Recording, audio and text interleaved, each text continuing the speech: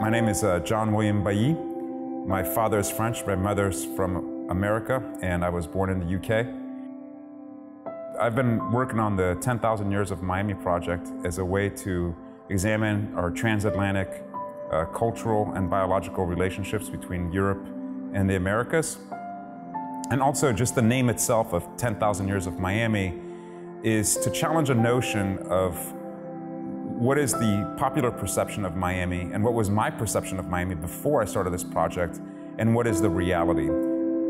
So, in, in many ways, the perception is that Miami does not have a history, when in fact, at the Deering Estate here, we find human remains that are from 4,000 years ago, so that our, actually our history is rich and it's actually very diverse. And my paintings are a way to share the journey that I've taken in rediscovering the history of Miami.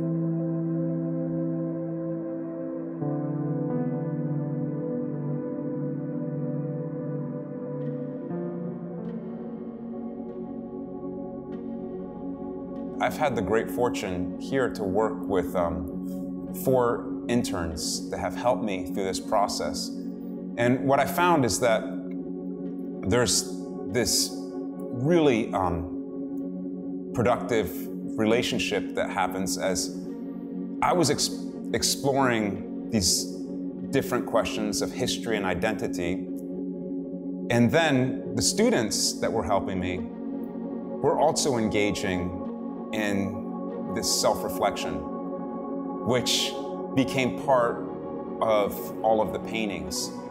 But then there's the other side, which is the conceptual side which is where we start to look at how we answer these questions.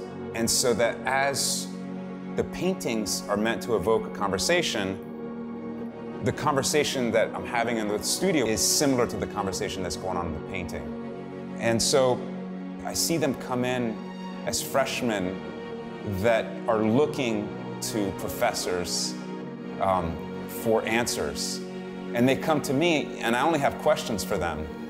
And then I see them over the years that by the end they have asserted themselves much more than when I first met them.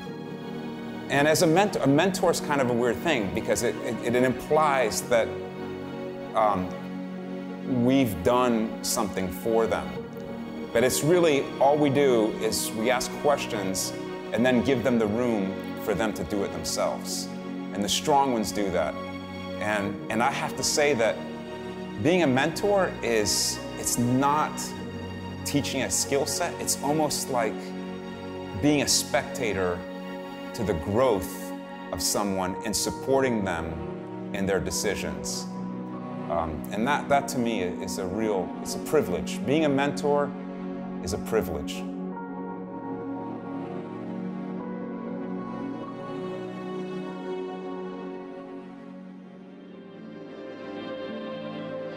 I was with um, some of the students that have, from FIU that have been working with me here as interns, and we were snorkeling in the bay right off the, the Deering estate. And then as we're getting out of the water, uh, Jerry Stecca, one of the, uh, the employees here and my friend, says, you know, five guys died dredging this channel. And I thought, who are these guys? And how have I enjoyed this bay for so many years without thinking of or knowing of these guys. So I made a series of seven paintings called The Forgotten. And we know the five uh, men that died at the Deering Estate were Afro Caribbean or African American. So I made paintings of them. And then, since I was able to visit Sitges in Spain, I did two portraits of the Forgotten of Sitges.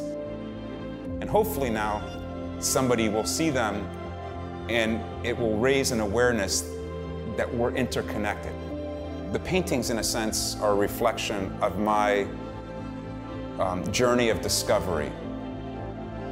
And my hope is that an audience member would see this, a viewer would see this, and start to see juxtapositions of seemingly unrelated material that actually belongs together.